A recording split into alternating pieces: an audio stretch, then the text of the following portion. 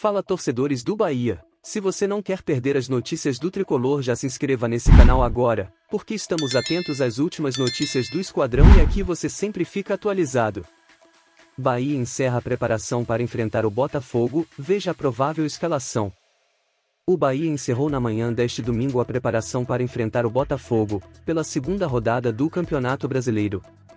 A bola vai rolar nesta segunda-feira, 24, às 20 horas, na Arena Fonte Nova. Antes da atividade, alguns jogadores fizeram um pré-treino na academia. Na sequência, os goleiros fizeram atividades específicas com o preparador da posição, Rui Tavares. Já deixe seu like nesse vídeo, pois é muito importante para que você não perca as últimas notícias do Bahia que postamos por aqui. Obrigado. Continua. No campo 1, uma atividade técnica e na sequência um treino tático com a provável equipe que começa o jogo. O trabalho de ajustes de posicionamento e movimentação durou cerca de uma hora. Por fim, bolas paradas.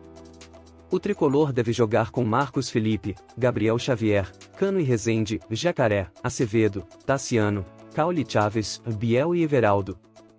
Recém-chegados, o defensor Vitor Hugo e o atacante Vinícius Mingotti treinaram à parte com o preparador físico Antônio Boris.